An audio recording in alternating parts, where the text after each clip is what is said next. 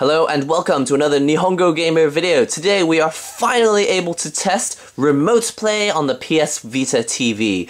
Uh, we waited, what, six months for this feature, which should have been out day one, but then we also had to wait four months extra for the PS4 to come out in Japan, and then only, what, a whole two months after the release of the PS4 did we finally get the uh, software update today for the PS Vita TV to run remote play of PS4 games. This is the feature that is going to give PS Vita TV and a, a, you know a reason for ex existence. To make remote play work on your PS Vita TV and your PS4, what you will need is to update your PS4 to System Software 1.7. You will also need to update your PS Vita TV to Software 3.15. I've already done the software update for PS4, so we'll be doing the software update now for the PS Vita, and uh, you will also obviously need two TVs. Um, for now, I am using a DualShock 4 with my PS4, and I'm using a DualShock 3 with my PS Vita TV, but um, after I have set it up, I will be um, testing it with a DualShock 4 as well, just so you can see whether the um, touchpad features also come through with Remote Play. Okay, so it may seem obvious, but to run PS Vita TV Remote Play, you will need two TVs. I have my PS Vita TV set up here on the left,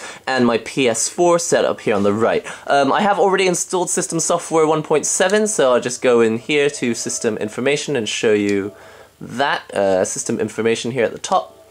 And you can see I have system software 1.7 running there on the um, second line. Next, you will need to update your PS Vita TV software. So I'm now controlling my PS Vita TV with the DualShock uh, 3. Just go over to System Update and let's run the uh, software update. It says a new version of the system software is available, version 3.15, that's what we want, so go ahead and click uh, next, not cancel like I just did. Read every line of this uh, agreement and then say OK, which I'm not going to do. I'm just going to click accept. With the remote play feature in PS4 Link, you can now automatically register a PS4 system using the internet. PS4 Link has been added to the home screen. Uh, this application can be used to connect with a PS4 system. So really, 3.15 on the PS Vita TV does nothing except add PS4 Link, which is what we kind of wish we'd had for the past two months. Click Update, there. Okay, says it's got about a minute and a half, so I'll uh, fast forward this bit. Please wait. Please wait. Okay, and we're connected to the PS Vita TV. Okay, so we are now running System Software 3.15, and if we just look around, PS4 Link. So there you go, PS4 Link is now an official icon on the PS Vita TV um, here. So we can go ahead and click that, It says uh, the PS4 system's screen can be displayed on the PS Vita system, and you can operate the PS4 system using the PS Vita system. Wow, that, they use the word Vita like 10 times in the same sentence. Okay, press next. Searching via the internet. Okay, it's now searching for a PS4. Um, presumably, you have to be signed into the same PSN account, which I am. It has now said Nihongo Gamer has connected and is using remote play here on the PS4. And we're in. We now have PS4 running on two TVs. I will now show you how much delay we've got. Nearly delayless, if that's a word. There's nearly no time delay here. And I, I guess if you're familiar with the PS Vita, this is very, very similar performance. Um, so there you have it! Remote play running on PS Vita TV! Yes! This is awesome! Okay, kind of freaking out a little bit here. Let's do something exciting like play a game. So I just want to show you that you can use a DualShock 4 with your PS Vita TV. Um, it's hard to prove that this is not connected to the PS4, but it is in fact connected to the PS Vita TV. So if I hold down the PS button, you can see it controls only the options on the PS Vita TV. But this is, yes, a, P a DualShock 4 running on a PS Vita TV on remote play, controlling everything on a PS4.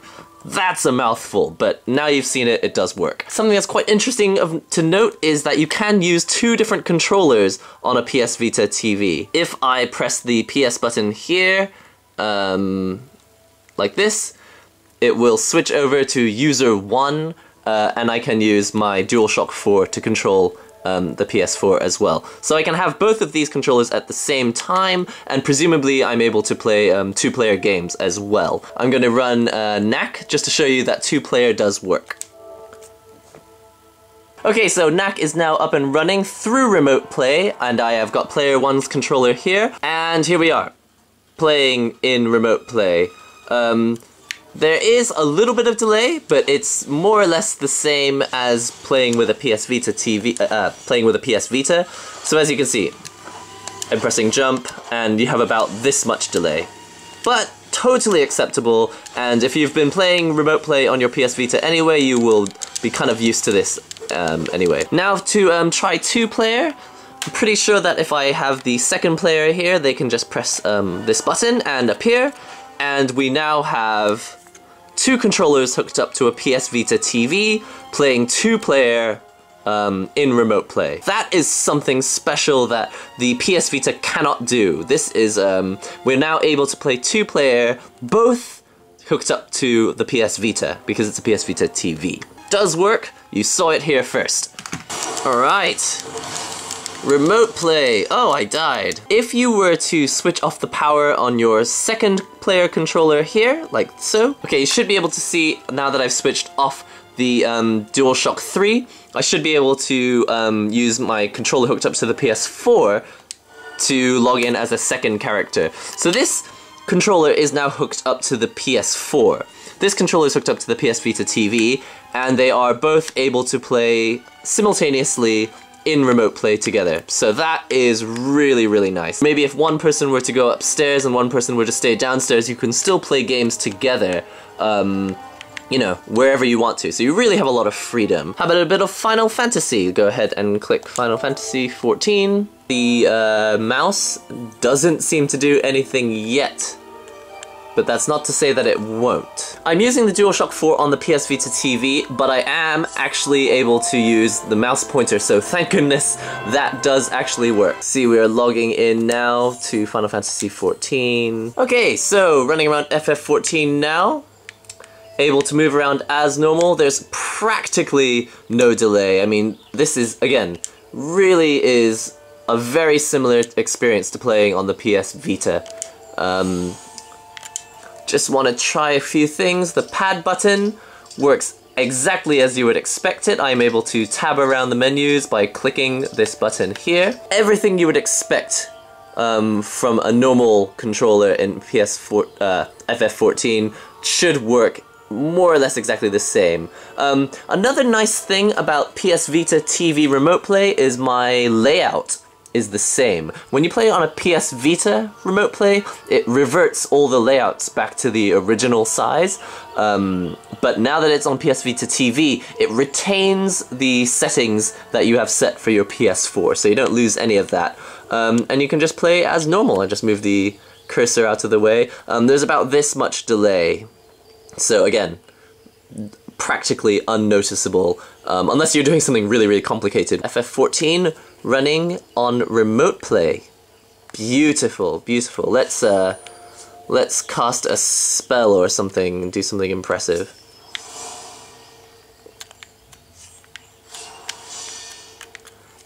Nice thing about uh, a DualShock 4 obviously is you have all the buttons. I mean, uh, just little things like being able to zoom in and out. That was a bit of a pain on the PS Vita. Um, but PS Vita TV, exactly the same experience as you would expect from your PS4. Beautiful.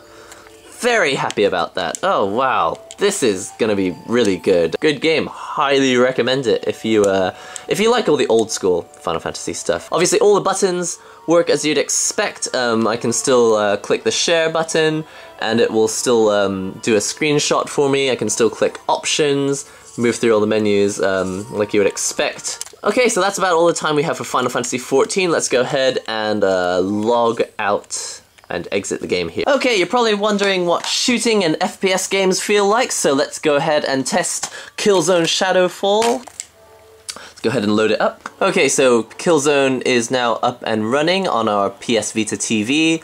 Again, practically no delay, or if there is a delay, it's really unnoticeable. Look at that. That there really is very little delay. That's very, very impressive. Okay, so now we have um, the level loaded up in Killzone Shadow Fall on Remote Play. We have about this much um, delay, which is totally acceptable. Um, I think this part of the game you have to use something on the slide pad, so let's see if the slide pad works. It does, you can slide left, right, and all that good stuff. Right, so just use that. He does a bit of shooting for us. We hide over here. So we just swipe over to the right, use the zip line, just like you would normally. Press L1. Bob's your uncle. Look how good that is. That's really, really good. Shooting PS Vita TV, obviously we get to use the DualShock 4 or DualShock 3, so you can push the button in to run like this. Um, that is amazing because that was a pain in the rear end um, to do on the PS Vita. So that is great that it works so well on here. You have all the buttons you need, plus you can use those menus in the top um, using just the slide pad here in the middle. Brilliant, brilliant. If you're just playing through the single player um, campaign, totally totally doable even with a bog standard um, wireless router like the one that I'm using now. Okay, so I've now hooked up the PS Vita TV to the PS4 using uh, the LAN cable only. Um, I've deactivated, the PS Vita does not know the password to the Wi-Fi, so it shouldn't be connected via Wi-Fi. Um, and as you can see, looks pretty much the same to me. I don't think it's um, really that much faster, but just in case, I will run a, a game just to see. Um, and as you can see, pretty much the same, almost no delay whatsoever. Um, and in any case, Knack has a bit of a delay when you jump anyway. Um, so, um, but as you can see, totally playable. Really makes very little difference to the gameplay. Probably no difference between the Wi-Fi connection and the LAN cable. Pretty much the same if you ask me. Let's just try it with Killzone as well. Okay, so we have Killzone up and running now. Um, as you can see, uh, a little bit of delay. Again, really very similar to what we experienced with the Wi-Fi connection. I would say this is not a great deal different. What's interesting is you can see that the control data is actually being sent to the PS4 practically with no delay. The only real delay is is the, the, video coming back to the the PS Vita TV. Okay, that's about all we have time for today. I just wanted to show you that PS Vita TV does run Remote Play as of today, April 30th, 2014.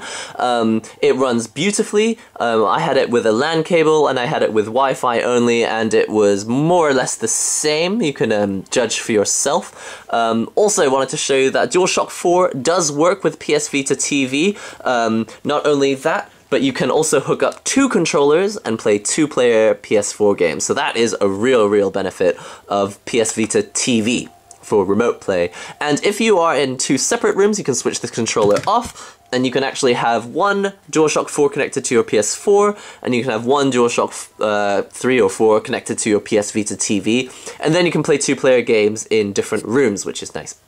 Um, obviously, the real benefit of DualShock 4 is you've got the um, touchpad here, which is really useful for games like Final Fantasy or um, Killzone. You need to have those um, uh, shortcuts there on the top. Also, you've got L3 and R3, which makes it so much easier to run than uh, if you are playing on the PS Vita. So definitely my preferred remote play experiences on the PS Vita TV. Don't forget that you need to have a Japanese account if you're going to be using um, a PS Vita TV, and if you're going to be using um, remote play, you need to have the same account logged in on both systems.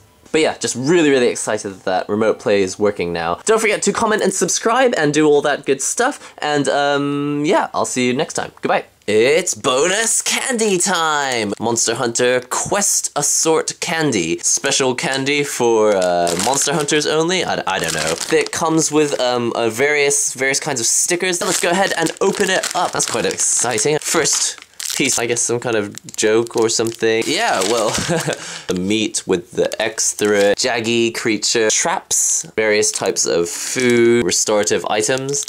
Ooh. Oh, okay, uh, that's kind of Monster Hunter related. Something, I have no idea. I think it's not really related. Oh, it's really sweet. Ooh. That's quite cool. I think that would look pretty bad. Um, now I just need to find a bunch of friends who I can um, palm these off on.